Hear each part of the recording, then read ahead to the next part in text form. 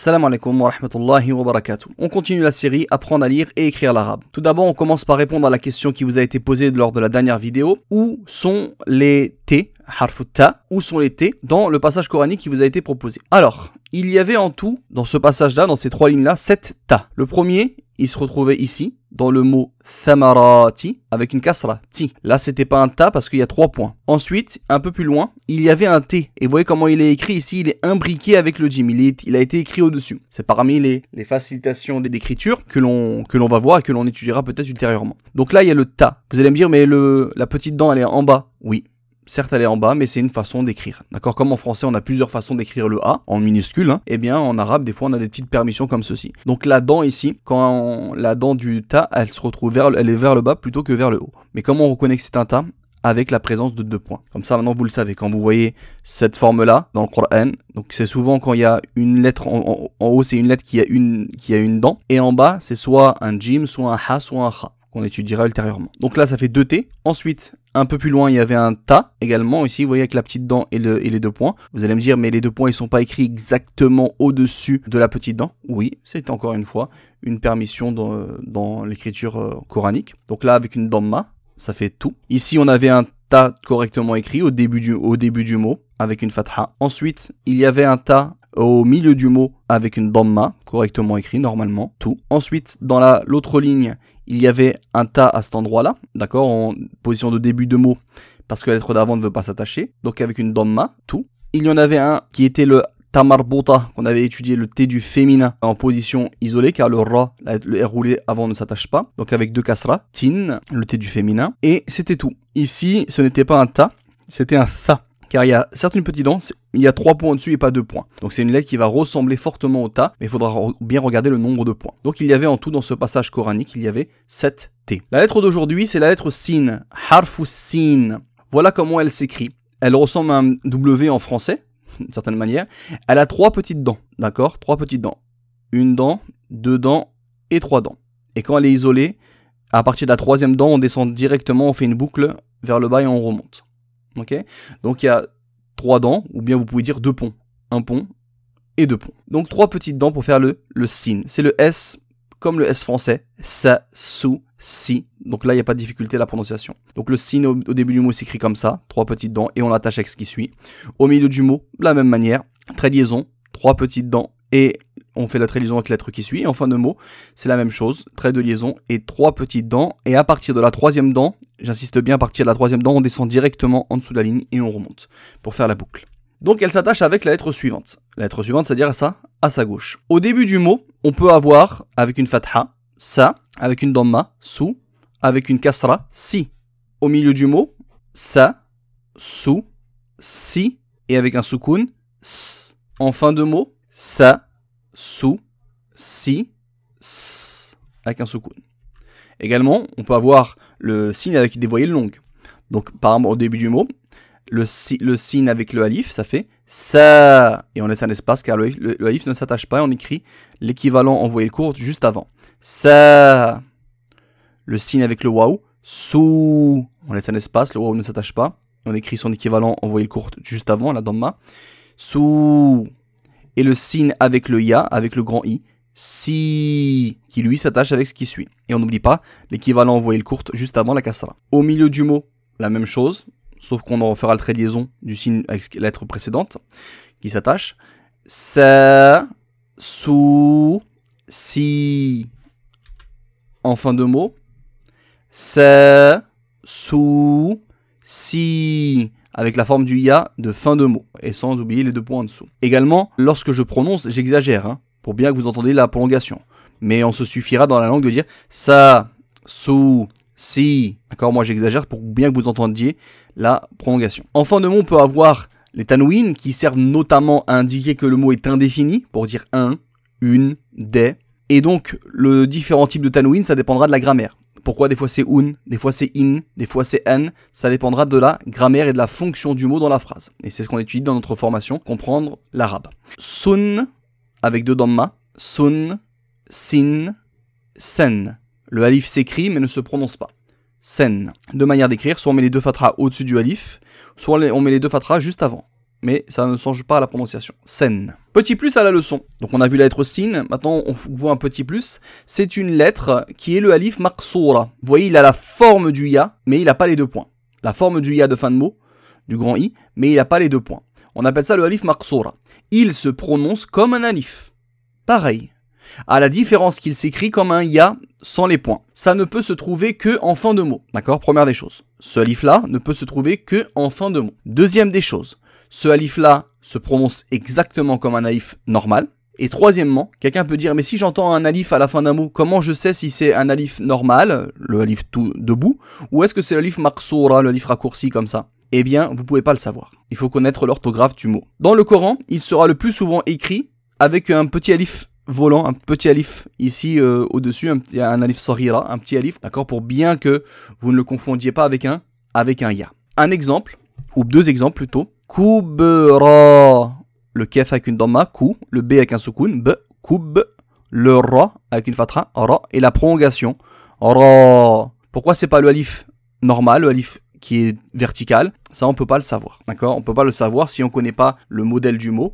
Vous pouvez pas le savoir à votre niveau. Kubra, mais ça se prononce pareil. Moussa, le mime avec une damma et la prolongation, mou le sin qu'on vient de voir, d'accord, au début du mot car le waouh avant ne s'attache pas, avec une fatha, sa, moussa, et on va prolonger, moussa. Et comme c'est une voyelle longue, hein, le alif maksura, eh bien il faut son équivalent voyelle courte juste avant. Voilà pourquoi à chaque fois on a mis une fatha. Moussa. Ce mot-là, il s'écrit avec un alif comme ça.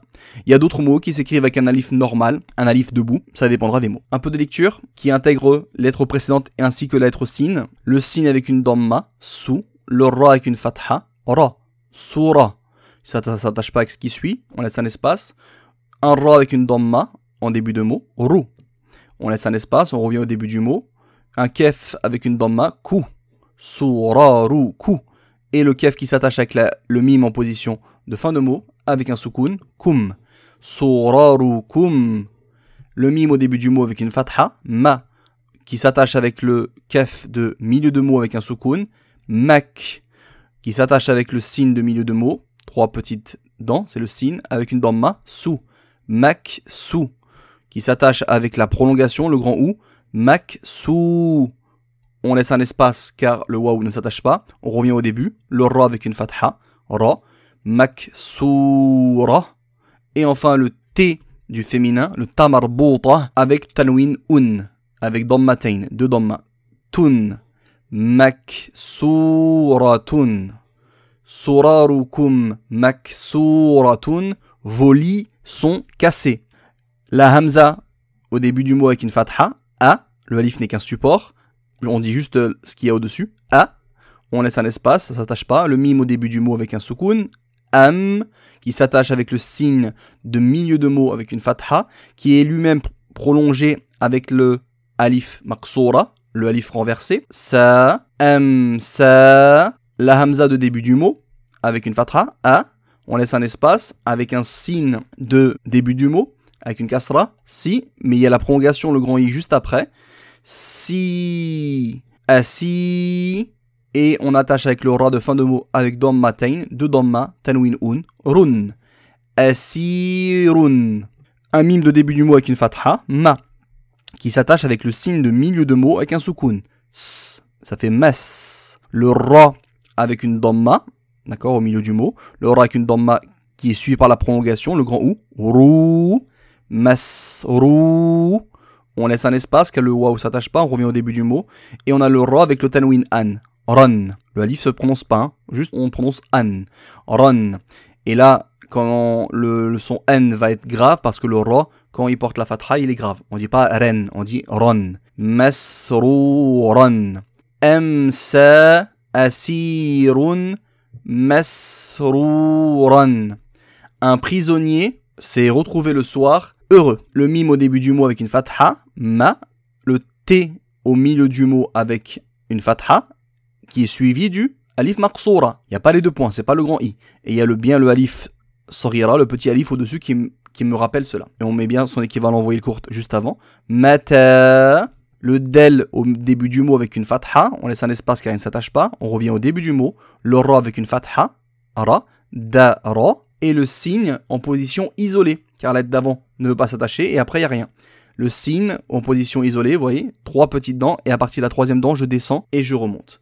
Avec une fatha, ça. Darasa. Le signe, trois petites dents avec la fatha, ça. On attache avec ce qui suit, le mime au milieu du mot, avec une kasra suivie de la voyelle longue, le grand i, en position de milieu de mot. Mi, sami. Et ici, on a le ra en fin de mot avec deux damma. Run. Samirun. Au début du mot, on a quoi ici? On a le ba, une petite dent et un point en dessous avec une kasra, bi. On l'attache avec ce qui suit, qui est encore un, un, un bas en position de milieu de mot. Un bas avec une fatha et la prolongation, le grand A. Ba, biba. On laisse un espace car il ne s'attache pas. On revient au début du mot. On a un ra, d'accord, le R roulé avec une kasra, ri, qui est lui-même suivi du grand I, d'accord, du grand I sans le trait de liaison car le, le ra ne s'attache pas. Le grand I, ri, qui s'attache avec le signe de fin de mot avec une fatha, sa. Bibarisa. Mata darasa. Samirun bibarisa. Quand Samir a-t-il étudié à Paris? Maintenant, on fait un peu d'exercice. Relis correctement les lettres de droite à gauche pour en faire un mot correctement écrit. Alors, voici les lettres à attacher ensemble. Donc, au début, on a un signe avec une kasra est-ce que le signe au début du mot s'écrit comme cela? Non. On regarde le tableau. Le signe au début du mot s'écrit comme cela.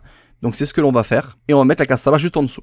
Est-ce qu'il s'attache avec ce qui suit? Oui, on fait le trait de liaison. Ensuite, on a donc un autre signe avec une damma mais en milieu de mot. On va chercher le signe du milieu de mot, c'est celui-ci que l'on va coller juste après. Il s'attache avec la lettre suivante, on continue. On a encore un signe en milieu de mot, parce qu'il y a quelque chose avant, quelque chose après.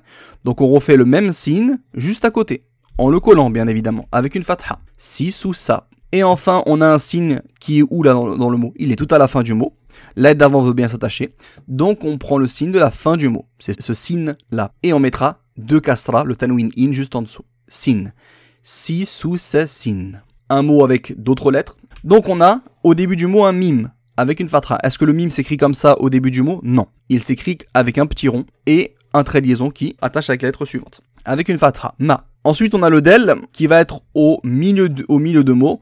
Et le del au milieu de mots, il est un peu plus ouvert que celui-ci. D'accord? Ça donnera comme cela. Et qu'est-ce que l'on sait du del? C'est qu'il ne s'attache pas avec la lettre suivante. Donc le ra que l'on voit ici, on va pas prendre le ra du milieu de mot, bien qu'il est en plein milieu du mot, mais on va prendre le ra de début du mot. On laisse un espace et on écrit le ra. Ça fait pour l'instant mad ra. Le ra également ne s'attache pas avec ce qui suit. Donc le signe qui était pourtant en plein milieu d'un mot, il va s'écrire en position de début de mot. On revient au début du mot. D'accord? Et le signe du début du mot, il est là. Je laisse un espace et je fais le même signe que je vous voyez ici. Avec une fatha. Madrasa qui s'attache avec la lettre suivante. Et là, le mot se termine par le T du féminin, le tamarbota. Mais le tamarbota, on avait appris qu'il y avait deux écritures. Il y avait celle-ci et il y avait une autre où c'était attaché. Eh bien, ça dépendait de quoi? De la lettre d'avant. Si la lettre d'avant veut bien s'attacher, eh bien, il fallait, faire le tamarbuta de façon attachée. Sinon, il fallait faire le tamarbuta que vous voyez ici dans l'exemple. Comme le signe est une lettre qui veut bien s'attacher, eh bien, on va choisir l'autre forme du tamarbuta, qui est celle-ci, qui ressemble, mais qui, qui est un peu différente. Tun, madrasatun, c'est une école. On termine par une question, répondez-moi dans les commentaires et dites-moi combien de signes de S vous trouvez dans le passage coranique suivant. Si vous souhaitez aller plus loin et surtout plus vite, vous pouvez vous abonner à notre plateforme de cours en ligne. Vous y retrouverez des vidéos pour chaque lettre avec son texte de lecture, des vidéos d'exercices corrigés, des vidéos d'écriture, des vidéos de révision, des vidéos d'évaluation qui sont elles-mêmes corrigées en vidéo et vous avez également la possibilité de télécharger tous les supports des leçons afin de les imprimer. Il y a plein d'autres choses comme du vocabulaire divers ou du vocabulaire thématique, bonus liés à la prière et au Coran, et également la possibilité de poser des questions en cas d'incompréhension ou de difficulté. En plus, en vous y abonnant, c'est toutes les personnes de votre maison qui pourra profiter de cette formation, ainsi que des suivantes qui vous sont offertes pour le même prix, ce qui vous permettra de continuer sur votre lancée afin d'apprendre la langue du Coran. Et si vous êtes un peu plus autodidacte et que vous avez déjà quelques bases, on peut aussi vous recommander notre manuel numérique téléchargeable qui intègre le contenu de la formation J'apprends à lire et à écrire que vous pourrez retrouver directement sur la boutique de notre site